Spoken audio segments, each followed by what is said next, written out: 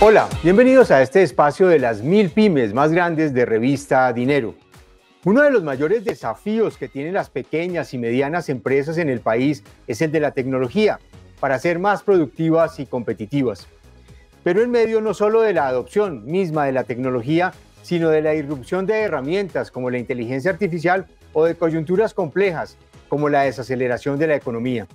Para analizar la situación de la tecnología y las pymes, nos acompaña el doctor Andrés García, director del segmento de pequeña y mediana empresa para Microsoft Colombia. Doctor Andrés, bienvenido y mil gracias por acompañarnos. Hola, muchas gracias por la invitación. Muy contento de estar aquí con ustedes. Tengo entendido que Microsoft hizo una gran encuesta entre pymes sobre el proceso de transformación digital. ¿Qué encontraron? Sí, básicamente no es, no es la primera vez que hacemos el estudio, en realidad ya llevamos cuatro años en este proceso y básicamente eh, es un estudio muy interesante porque lo hicimos antes de la pandemia, durante la pandemia y ya después, tres años después de la pandemia.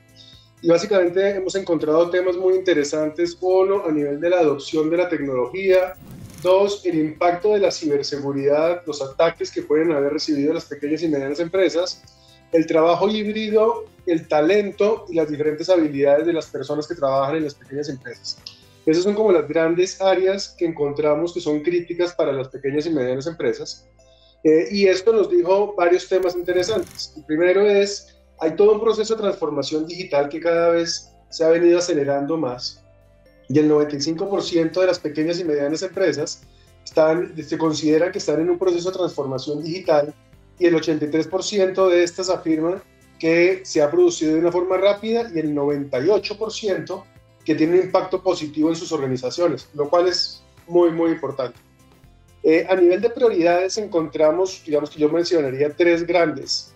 La primera es que ven el tema de la ciberseguridad como un riesgo para ellas y una prioridad en donde tienen que estar trabajando hoy en día para proteger su información, sus empresas, su identidad eh, y sus datos.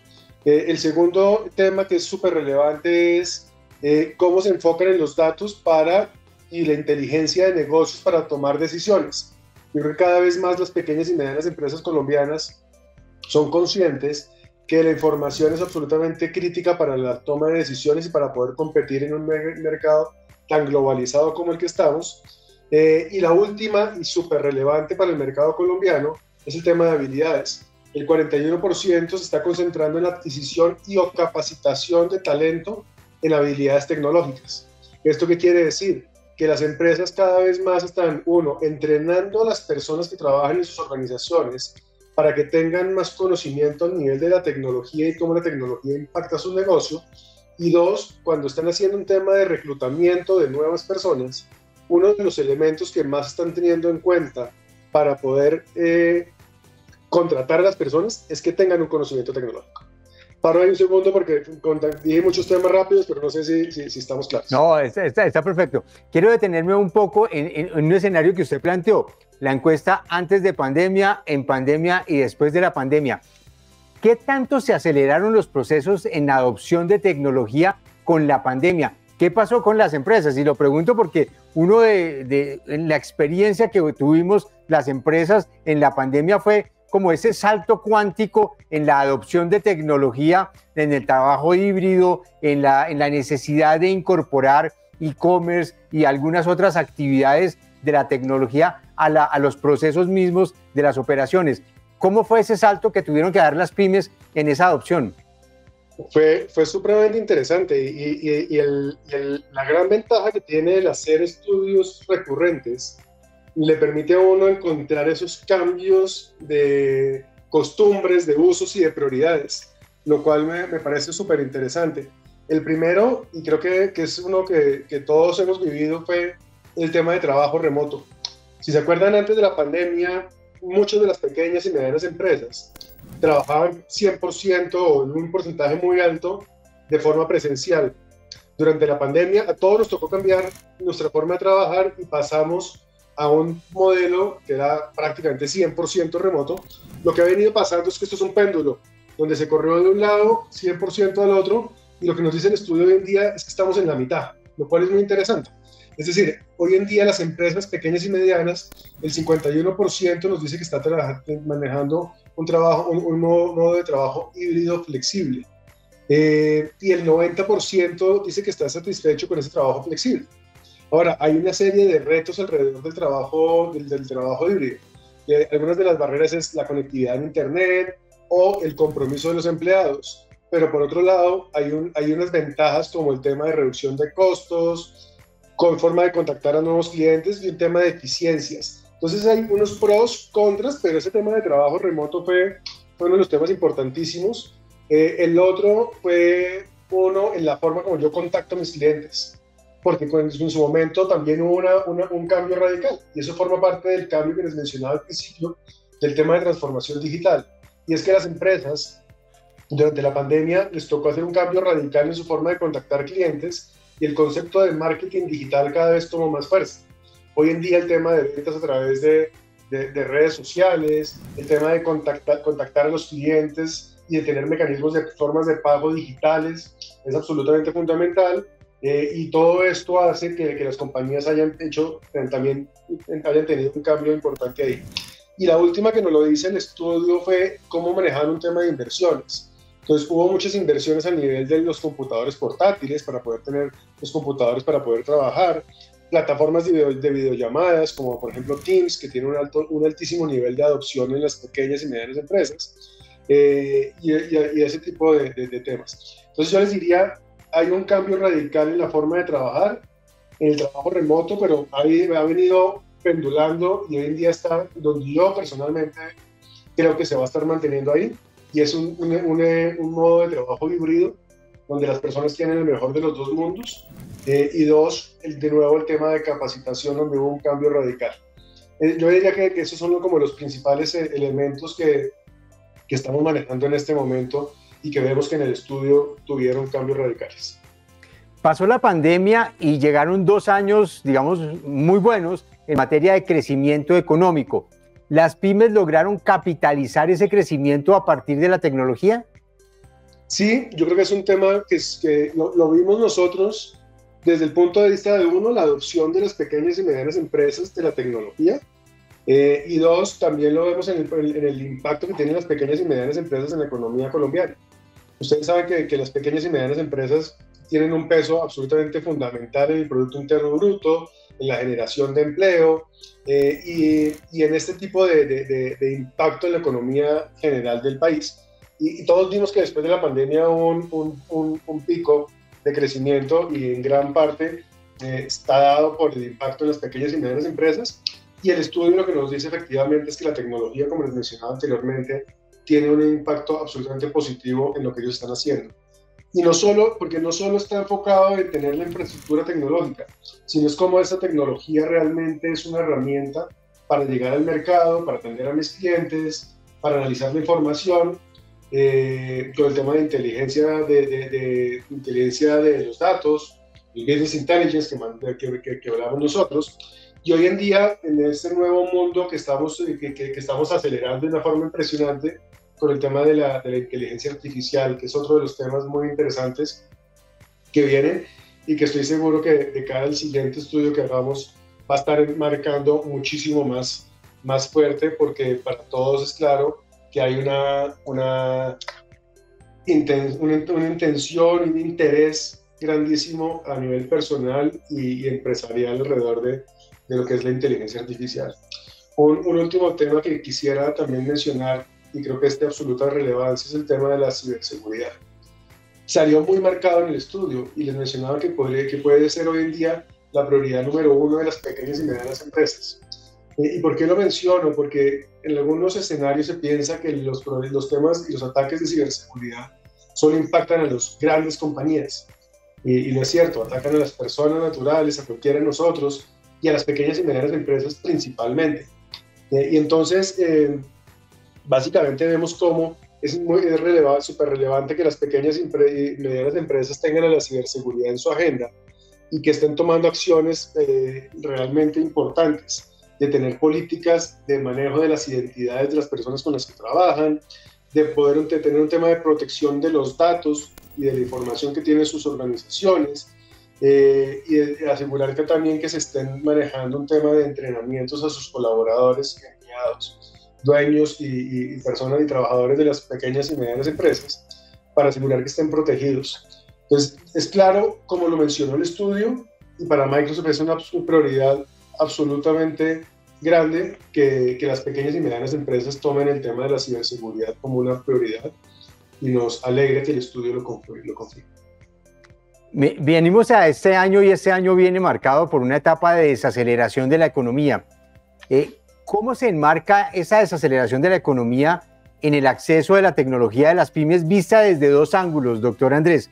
Uno, desde el negocio mismo de la, de la operación de las pymes y otro desde la financiación para acceder a la tecnología en un escenario de costos altos, inflación que todavía persiste alta, aunque ha venido descendiendo, tasas de interés altas y un dólar en donde la tecnología pues todavía está muy dolarizada, muy volátil y muy complejo.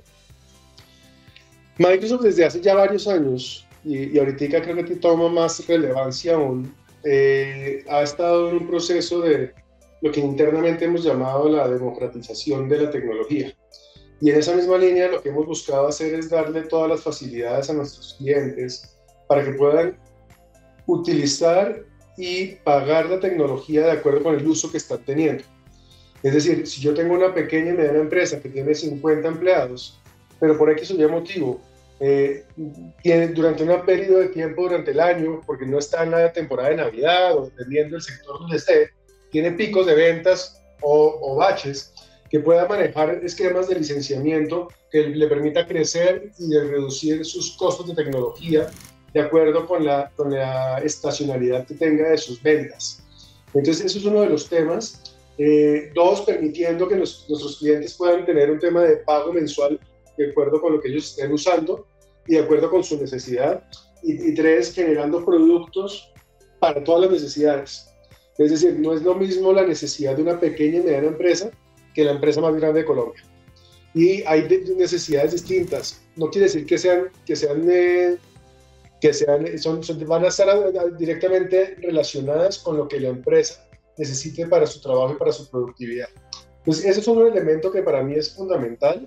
Eh, el segundo, y el, y el segundo es, tengo que ver la tecnología como un habilitador de mis ventas y de generación de, de productividad y de más ingresos para mi organización, no únicamente como un gasto.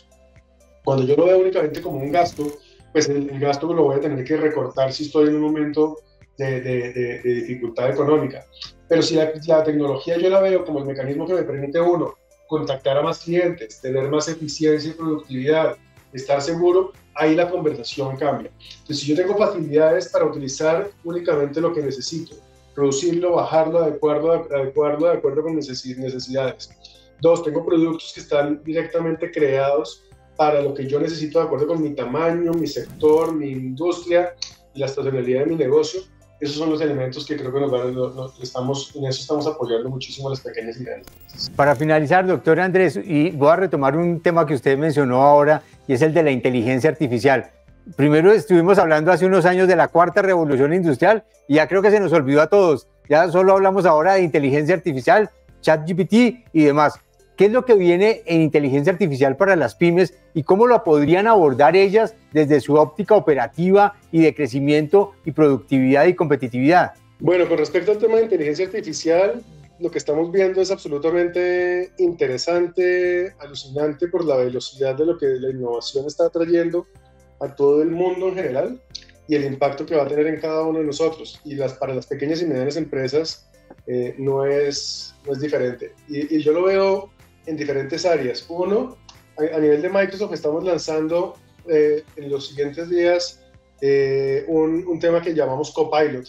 Y el Copilot, el copiloto, eh, es básicamente la herramienta que nos permite trabajar de una forma más eficiente utilizando la, la inteligencia artificial. Algunos ejemplos de esto es cómo logramos conectar el Teams, en, en las herramientas como Teams, cómo inteligencia artificial permite asegurar que puede sacar resúmenes de las reuniones, qué dijo, qué dijo cada una de las personas, cuáles fueron los comentarios que más generaron impacto, cuáles son las tareas que quedan de cada una de las reuniones.